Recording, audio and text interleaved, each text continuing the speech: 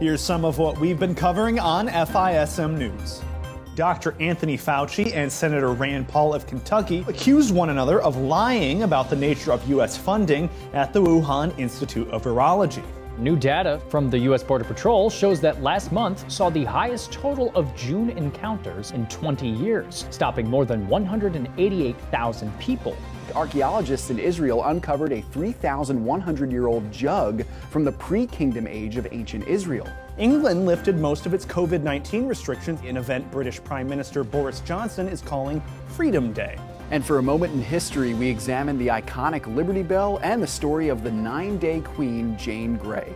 For more, tune in to our 30 minute program airing Tuesdays and Thursdays at 7 p.m. Eastern Time, 6 p.m. Central. Only on FISM TV.